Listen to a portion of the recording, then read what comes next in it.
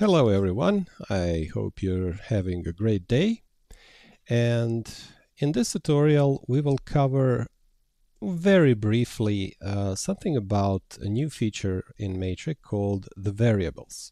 Now what are variables for those of you who are not developers? Well, the easiest way to think about variables is they're symbols which can have some sort of value associated with them like uh, let's say a variable dog name can have a value associated with it rover. So dog name equals rover. Okay. Now that we got that covered uh, let's see what we can do with uh, variables in MATRIC. I'm going to do a very simple and brief demo we are going to create a simple deck where we will control the audio volume in Windows and we will use variables to bind the Windows volume to the slider in MATRIC. So let's start. Uh, first we will create a new deck. We will call it uh, variables volume demo. Okay. And we can load it in our device. Okay nothing there. Fine. Then we will add a slider which we will use to control the volume. So let's add an action which will be set volume and I'll set the volume to let's say hmm, default multimedia device. Oh sorry I'm going to use the playback device. Uh, let's do the monitor so that I don't cut out the audio that I'm recording. Okay let's open up our Windows volume mixer like so and see if it works. Oh, let's just put this. This is the monitor. And as I move the slider on my phone, the volume in Windows changes. But if I use the Windows volume mixer and change the volume, whoops, my slider in uh, MATRIC client does not move, does not reflect the state of volume in Windows. So what can I do about it? Well, let's open our variables window. And as we move the slider uh, let's see. As we move the slider, we should see PG, yeah, that, that one. We should see the volume of our monitor speakers change, like so. So, MATRIC is actually outputting those changes to variables, which we can utilize to synchronize MATRIC controls with variables. In this case, the volume. Okay, so uh, let's go to the advanced properties of this slider. And here, uh, with control state binding, we will bind the slider value to the volume. And that was the monitor volume. Okay. Let's save this and let's see what happens. We move the slider in Windows and the corresponding MATRIC slider moves as well. Also when I move the slider in MATRIC client the volume in Windows changes. Okay, great. Now let's see what else we can do. Let's say we want to display the exact volume on this slider like 5%, 10%, 100%, whatever.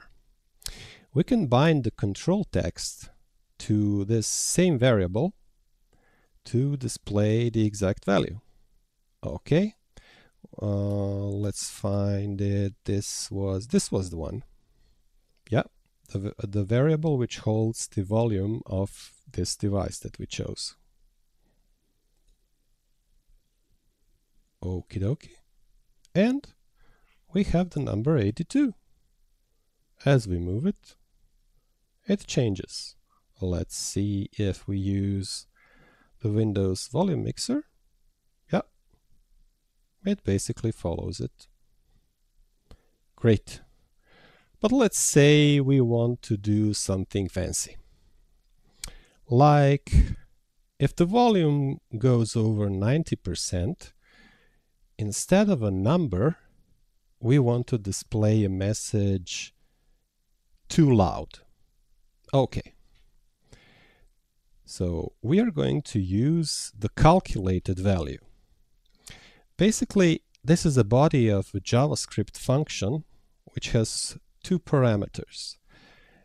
First parameter is the called value, and it is the value of this variable the other parameter is key value collection variables with key being the variable name and the value being variable value. But we will not use that. We'll just use this variable. So I'll write a simple expression. Let's say if value, which in our case, oops, if value is greater than 90%, then we will return too loud. Else we will return just the value. And let's say we'll add a percentage sign at the end. Now we can test our transformation function by clicking the test button. Oops. Oh, I forgot this. You have to return the value from the function. Okay, we got 70%. Now, uh, just to test it, I will increase the volume like so and try a test again. And now we get too loud. Okay, let's save it. And let's see what happens. Whoa, it's too loud. Now it's not too loud. And let's try it with the Windows volume mixer. And now it's too loud. Uh, yeah, it works pretty well. Now, let's do just another quick and easy button. We'll put a button that will indicate if this device is muted or not. Um, let me just, because I'm going to use fancy graphics, I'll go to material, design, icons. Oh, where is it? Here it is. And I'll, because I don't know how it's called. Okay, it's called volume dash off. Okay, volume dash off. I'll put the text here vol md mdi volume dash off and I'll say that I won't use the normal font but the icons. Okay now we get a nice little picture of crossed out speaker. Let's save it. Okay now we need to add an action to our button and that will be volume mute. And we will use the same playback device that we used before and that is our monitor okay.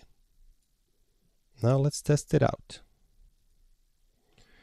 Okay when I press this yeah it mutes and unmutes. But what happens if I do the same in volume mixer? Nothing happens. Oh bummer. But there is a solution. I will use this button. And let's see what happens to the variables as I press the button on the client. You see this variable which says WA for Windows Audio prefix and the device name underscore muted. It changes as I mute and unmute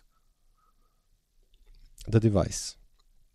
Basically, MATRIC audio control emits variables back uh, to MATRIC. And we can use that to uh, dynamically change the state of our button. So let's do it. We will go here to advanced and we have this part control state binding for button pressed we will click this variable symbol and we will choose that mute variable. Save it. Save. Okay. So let's see what happens when I mute this device. Huh? Pretty neat, huh? And when I do it from the client, yeah, works pretty well. So, in essence, this is just a short and not very deep overview of what you can do with variables and MATRIC. There's a lot more to it. Uh, currently, uh, variables that MATRIC provides you are related to uh, Windows Audio and um, OBS Studio if you are connected to OBS Studio, but also various plugins or integration API clients can uh, feed MATRIC additional variables. So you can use them um, in building your decks as well. So I hope this has been interesting. There's a lot more to talk about variables and I hope I will be recording more videos about this. There's also a section in the manual which explains things about uh, variables in uh, slightly more detail. And that's it for today. If you have any questions or need help, you know where to find me on our Discord. That's it from me and Bye, everybody, and have a nice day.